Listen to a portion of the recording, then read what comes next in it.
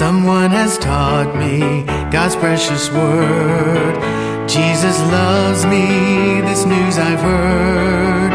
I received him who saves from sin, and I know he lives within. But what about my neighbor? What about my friend? What about my family? Who will tell them? So many across the sea have never heard of salvation free. Missionaries are called by God, and I'll help and spread the word. But what about my neighbor? What about my friend? What about my family?